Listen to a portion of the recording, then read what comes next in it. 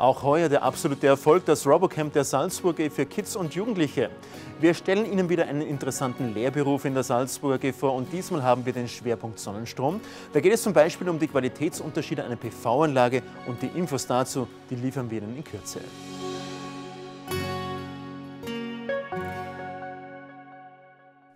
Intensive Wochen an Ferienspaß liegen hinter uns. In Kooperation mit Alphason veranstaltete die Salzburger auch heuer wieder die sogenannten Robocamps für Kinder ab neun Jahre. Unter dem Motto IT begreifbar und greifbar machen bauten 95 Kinder ihren eigenen Roboter. Das war so cool mit dem ganzen Kabel und alles. Und dann, ja. da, das, und aus, dann hat das waren die Einzelteile. Und, und dann einfach alles dauert. Ja. Wenn die Jugend nicht mehr aus dem Schwärmen kommt, dann war das wieder das Sommerprogramm der Salzburger G.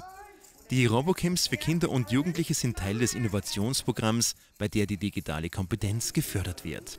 Der Bedarf ist da und äh, es geht auch irrsinnig viel weiter. Also die Kinder lernen da extrem viel und die haben direkt Spaß dran. Und das ist ja eigentlich das, warum wir das Robocamp machen. Wir wollen keine Experten erziehen, sondern wir wollen den Spaß fördern und den ersten Zugang so einfach und leicht gestalten wie möglich. Das ist das Ziel. Wir haben die Rookies besucht, die heuer eine Heuschrecke gebaut haben, die vorwärts, rückwärts und mit viel Fantasie auch tanzen kann.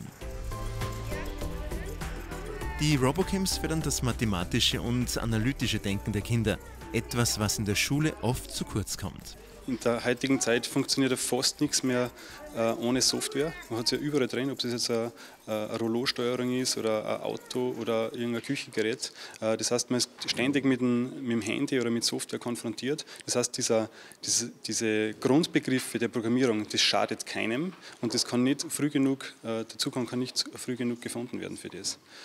Und deswegen macht es auf jeden Fall Sinn und vor allem die Kinder macht es Spaß sichtlich. Und warum soll man ihnen das verwehren, wenn es ihnen Spaß macht? Ja. Somit können die Robocamps den weiteren Weg der Kinder und Jugendlichen beeinflussen. Denn der Roboter wird von vorne bis hinten selbst gebaut und vor allem programmiert. Und meistens befolgt der Roboter auch das, was man ihm vorgibt. Ja, außer ja, man programmiert es halt Außer man programmiert es um oder man hat einen Fehler drinnen. Was ist denn halt Und was mit dem Roboter, sprich mit der Heuschrecke zu Hause passiert, ist jetzt auch schon klar. Dem werden wir zu Hause ziemlich viel machen. Vielleicht und vielleicht treffen wir uns dann auch und dann machen wir den Roboterkampf. Roboterrennen. Roboterkampf. Oder Rennen. Kampf. Rennen. Kampf. Rennen. Kampf. Rennen. Beides. Schaut nach ziemlich viel Spaß aus. Wir bleiben auch gleich bei der Jugend und kommen zu den Lehrberufen der Salzburger. Im November 2019 wird wieder der Tag der Lehre stattfinden und bis dahin stellen wir Ihnen wieder interessante Lehrberufe vor. Heute sind wir in der Vogelweiderstraße im technischen Service in der Lehrwerkstätte und werden uns anschauen, was unser Lehrling Hannes so einen ganzen Tag tut, wie seine Erfahrungen sind in der Firma und wie es ihm so geht.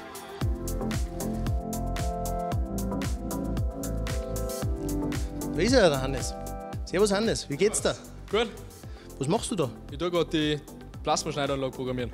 Aha, und äh, als Maschinenbautechniker bzw. Metalltechniker ist das äh, deine Aufgabe? Ja, wir kriegen eine Einweisung und dann dürfen wir auf der Maschine arbeiten. Was gefällt dir bei deiner Arbeit? Dass ich was mit, äh, dass ich was mit Metall zum tun habe und dass ich meine Ideen einbringen kann und generell mit einem guten Umgang mit den Mitarbeitern und mit den Lehrlingskollegen, das passt gut. Äh, wie stößt du deine Zukunft nach der Lehre vor? Nach meiner Lehre möchte ich die Nummertura fertig machen und dann darf man einen Wunsch äußern, also wo man am liebsten arbeiten wird bei der Salzburger AG. Und ich hoffe, dass mein Wunsch zur Geltung kommt. Okay, danke dir.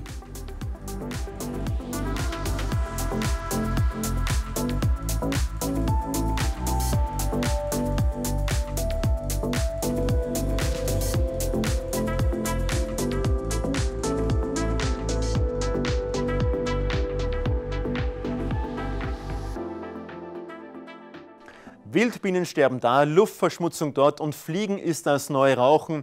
Wir steuern mehr und mehr Richtung Klimawandel und hinterlassen für unsere Kinder ein absolutes Chaos auf Erden. Wir waren jetzt aber dort, wo augenscheinlich noch alles heil ist, nämlich auf der Salzburger Schanne und haben dort die Salzburgerinnen und Salzburger gefragt, was sie persönlich für den Klimaschutz tun. Ich schaue, dass ich möglichst an Verpackungsmaterial spare und schaue, dass ich, wenn ich nicht unbedingt fahren muss mit dem Auto, dass ich das irgendwie anders mache mit dem Radl oder Zugbahn, wie auch immer immer. Müll trennen und ja, schauen, dass ich möglichst viel mit dem Rad fahre, weniger mit dem Auto. Müllvermeidung, wo es halt geht. Man, früher bin ich gegangen mit den Tupperschüssel, aber das, das mögen sie ja überhaupt nicht mehr. Das haben's wieder, ist wieder mehr zurückgegangen. War mal so eine Phase, wo das gut gegangen ist. Heute stampfen sie die wieder weiter, das wollen sie nicht. Wir bauen Gemüse an, wir schauen, dass wir das äh, gut, äh, gut und ökologisch anbauen, dass wir Kreislaufwirtschaft haben. Ich bemühe mich, dass ich so wenig wie möglich mit dem Auto fahre, viel mit dem Radl fahre. Äh, dann Sachen kaufe, die, also regionale Sachen kaufe, nicht äh, im, im Winter Erdbeeren oder Himbeeren. Dass man hier keine Plastikbeutel hernimmt, dass man die weglässt und natürlich äh, auch mit, mit dem Strom her, dass man da ein bisschen spart, soweit wie es geht. Und damit sind wir auch schon beim Thema angelangt, denn wir hätten da noch eine Idee, wie man einen Beitrag zum Klimaschutz leisten kann. Denn wer mit einer PV-Anlage selbst Strom produziert, tut nicht nur der Umwelt etwas Gutes, sondern spart auf Dauer auch Geld. Für alle Eigenheimbesitzer bietet die Salzburger die Sonnendachaktion mit eigenem Sonnendachrechner auf der Homepage an. Im ersten Schritt können Sie damit die eigene PV-Anlage planen.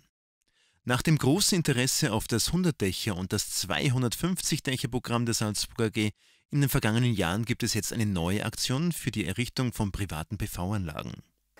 Äh, das Salzburger AG Sonnendach ist unser Angebot für Privatkunden, für Photovoltaik. Äh, der Kunde kann wahlweise über sechs oder zwölf Jahren Laufzeit gegenüber einem monatlichen Pachtzins die Photovoltaikanlage von der Salzburger AG pachten. Den Strom, den die PV-Anlage produziert, gehört den Kunden, kann er selber nutzen, spart er sich auf der Stromrechnung. Den, den er nicht selber nutzt, der wird rückvergütet und ins Netz eingespeist. Für umweltbewusste Hausbesitzer steht eines fest, die eigene Energiegewinnung kann maßgeblich zum Umweltschutz beitragen. Die Anlagengröße liegt zwischen 2,4 und 5,4 kW Peak, wahlweise mit oder ohne Speicher. Der große Vorteil unseres Angebots ist, dass wir uns um alles kümmern, inklusive der Fördereinreichung. Die Anmeldung erfolgt über den Sonnendachrechner auf der Website der Salzburger G. Dort bekommt man schon im Vorfeld wertvolle Informationen zu Größe, Kosten und Nutzen. Für alle, die die Anschaffung eines Elektroautos planen oder bereits elektrisch fahren, ist eine hauseigene PV-Anlage besonders optimal. Auch hier können Sie auf die Beratung unserer Experten zurückgreifen. Wir bleiben auch gleich beim Thema. In drei Schritten Teil der Energiewende zu werden, ist also mit der Salzburger Sonnendachaktion möglich. Dabei kümmern wir uns um alles inklusive der Förderung. Und jetzt stellen wir uns noch die Frage, ob es bei den PV-Anlagen grundsätzlich Qualitätsunterschiede gibt.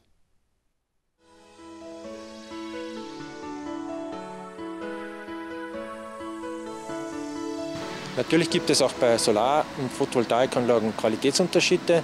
Gute Solaranlagen zeichnen sich aus durch eine Herstellergarantie von zumindest über 80 Prozent Stromertrag nach 25 Jahren oder einen Wechselrichter mit einem hohen Wirkungsgrad jenseits der 95 Prozent. Solche Aspekte sind hier also technisch äh, festzumachen. Beim Bau und bei der Errichtung ist zu beachten, dass die Anlage so gebaut wird, dass kein Schatten darauf fällt. Wenn Schatten unvermeidlich ist, dann Module mit Leistungsoptimierung.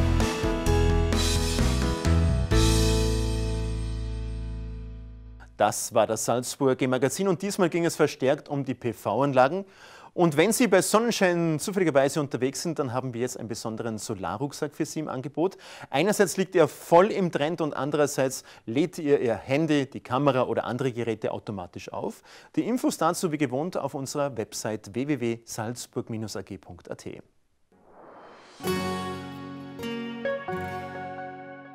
Viele Seiten der Salzburger Lebensqualität haben ihren Ursprung in der Salzburg AG. Wo sauberer Strom fließt und wo Wärme weiterdenkt. Wo Mobilität jedes Ziel erreicht.